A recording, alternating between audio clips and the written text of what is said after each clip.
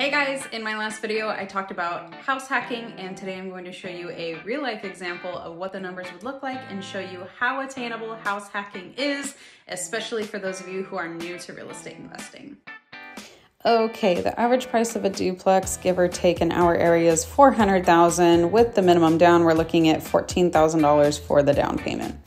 Inputting our loan amount into our loan calculator, our loan amount would be $386,000 with the average interest rate for owner occupied dwellings, 5 to 5.5% right now. Let's just say 5.5%.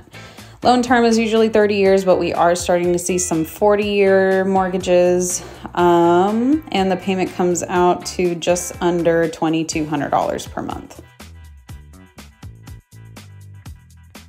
On a property with an additional dwelling unit, or if you buy a two to four unit property, you can take the projected rent for those additional units that will be rented out and use that income to qualify for the loan.